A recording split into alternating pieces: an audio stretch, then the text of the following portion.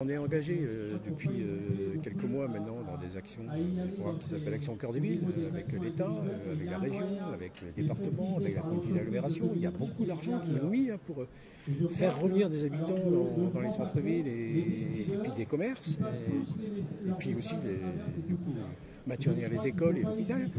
On a l'impression que voilà, parce qu'il ne faut pas poser le crayon puis on arrête quoi, parce que euh, on court, on court derrière des, des choses qui sont que l'on ne maîtrise pas et puis qui sont complètement contradictoires.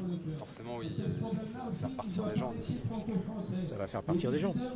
Et non seulement ça fera partir des gens, et ça n'attirera plus personne. quoi. Euh, moi, je me mets à la place des jeunes euh, qui sont dans une entreprise comme ça, même s'ils ne sont pas touchés encore aujourd'hui, parce qu'il y en aura qui ne seront pas touchés.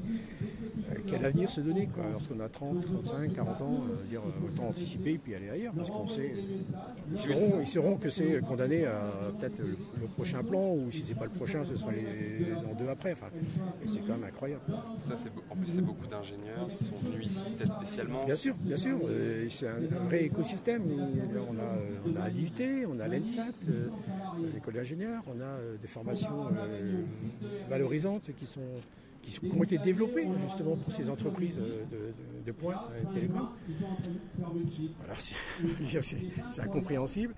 Alors, je- on va me dire que Nokia, c'est pas son, sans doute pas son souci principal hein, d'assurer la, survie d'une ville, mais n'empêche qu'on est, comme il a été dit tout à l'heure, les collectivités ont accompagné Nokia pour la restauration de son site, les a accompagnés sur les, différents plans qui ont été euh, mis en œuvre les années passées, on a réembauché des gens.